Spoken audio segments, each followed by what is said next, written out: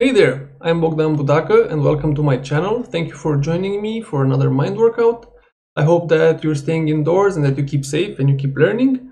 Today we will go over another cool little problem. We will be using the C programming language and of course whenever you feel that you can continue on your own, please pause the video and do so. I also have a new setup, so I'm hoping that the audio and video will be a bit better. So yeah, let's uh, dig right in. So what we'll be doing today is reverse an integer. So we've uh, reversed a string before, now we will reverse an integer. So let's spell that out, reverse an integer. So think about how we can proceed to get this done. For example, let's have a number 123. How can we proceed to reverse this number? So maybe, for example, if we get the last digit from the number and add it to a new number as the first digit, and then get the second digit from the, actually the second to last digit from the input number, and then move it as the second digit to the new number, and so on. So if that sounds good, how can we get the last digit from the number? If you had a chance to check out the previous video, and I will link to it, uh, we used a little trick, let's call it, to get the last digit from a number. So in order to do that, we can use the modulo operation and modulo 10, okay? So what's the modulo operation? You can also look that up online, of course. Very interesting. Basically, the modulo operation gives us the remainder from a division. Okay, so just a small example. 5 modulo 2 is 1. So 5 divided by 2, we get a quotient of 2 and a remainder of 1. So 2 goes into 5 twice. 2 times 2, that's 4. And 5 minus 4, that's 1. Okay, so I hope that makes sense. And to get the last digit from our number, we can use modulo 10. Okay, and this will be 3. 123 divided by 10, it will be 12, and the remainder will be 3. Okay? Good, so if, having this done, uh, then our, our next order of business would be how can we move on to the next digit. So this is again something we used in the previous video. So to get the, the next digit, we can divide the number by 10. So 123 divided by 10, this will be 12.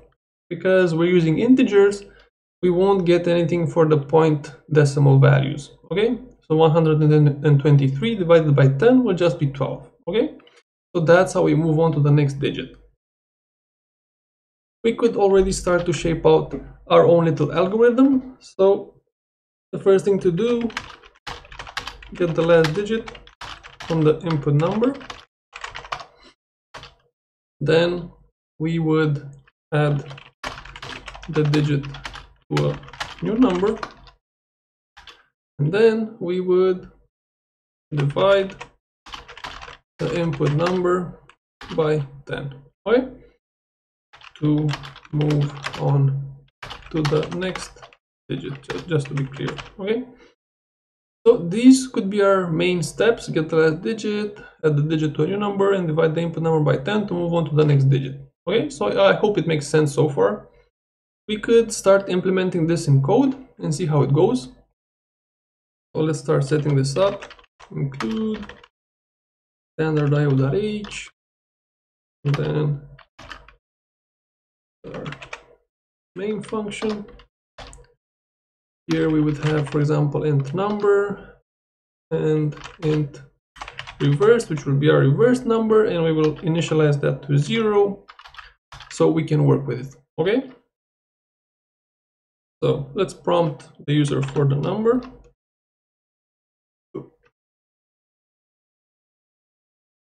printf please provide the number to be reversed new line semicolon we scan for it and we pass it to number okay so, and we'd want to do this as long as number is equal to zero. So we'd make sure that we don't get zero. Okay, so we can actually get something that we can work on. While number equals to zero. Okay.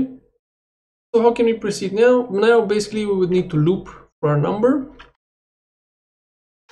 and the operations we perform on it. So while number is different than zero, so while our number isn't zero, we would want to keep looping and run our operations on it, okay?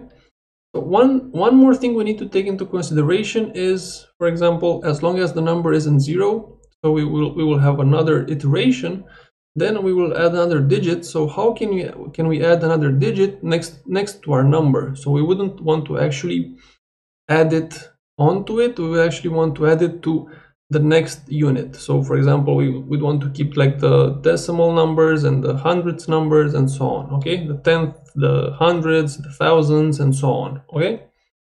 So if you think about it, so for example, if we run this the first time, we would get so 123 modulo 10, we would get 3 and adding that to the new number, we have 3, okay? Then we divide 123 by 10, we get 12 and then once we do 12 modulo 10 this will be 2 okay? So if we have 3 how do we how can we add 2 next to it? So we, we basically need to create the space for it. How can we do that? We can multiply 3 by 10 okay? So 3 times 10 equals to 30 and then 30 plus 2 and the plus here equals 32 okay so this will actually add 2 next to the 3 so to say. Okay so i hope this makes sense. So basically as long as we loop through the number we actually want to multiply the the new number by 10 before we do anything else. So we can have like the room the space for the new digit to add on. Okay? So reversed equals reverse times 10 so this is the first thing we will do each time. Of course the first time reverse will be zero so this won't, won't even matter. And after this we add number modulo 10 so the last digit we add it on.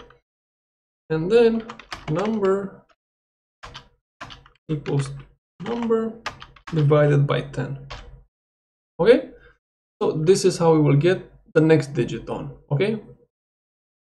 Here we can use like a shorthand like you would use plus equals or anything like that and we can just use divided equals by 10 okay so i hope this makes sense. So while while the number is different than zero we will multiply our reverse number by 10 so we would create the space for the next digit.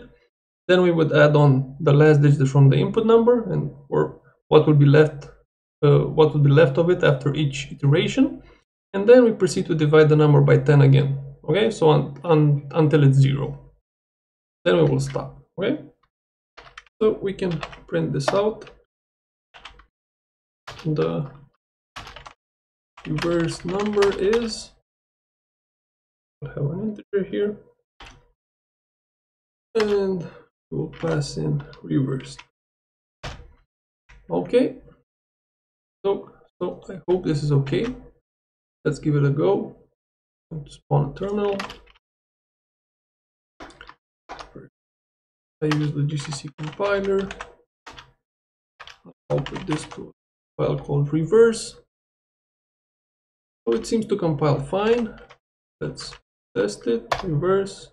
Let's first test zero. So we make sure that we get prompted again, and that's what happens. One, two, three. Okay, so it seems to be working fine. So we get three to one. Let's run some more examples. Five, five, four, three to one. Okay. And one more. For example, minus four, three, two, one.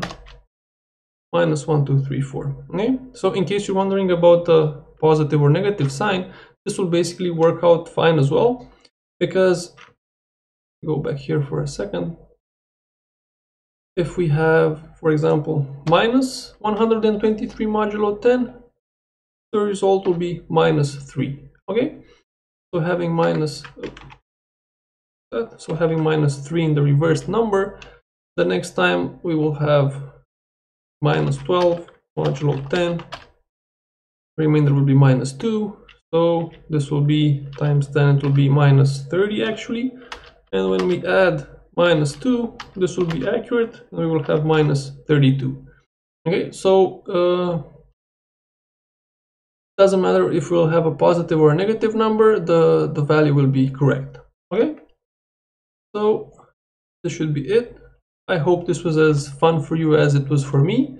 And if you found this interesting in any way, please give the video a like and subscribe. And I'm looking forward to your comments. And um, yeah, I'll see you around.